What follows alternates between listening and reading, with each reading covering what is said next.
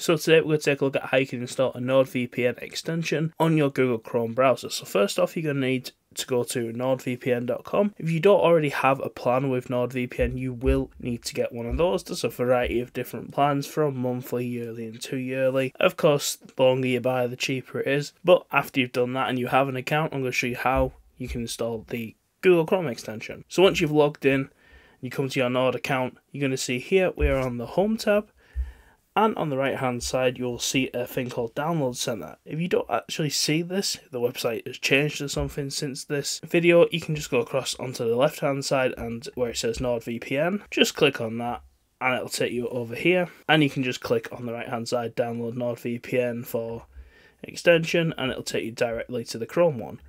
But if we're doing it on the download center we just click download apps go across and it might already suggest it for you here. As you see, it says try NordVPN for Chrome.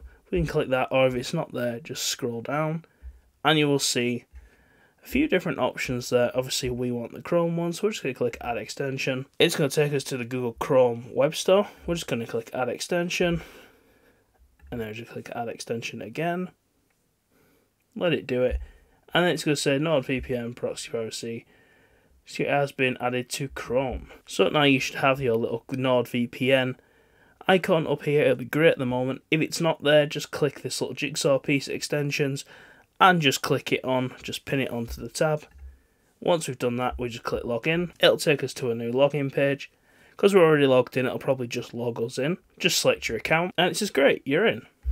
So if we look now, we can click on our NordVPN. We're not connected we can just click quick connect or select one of these countries here.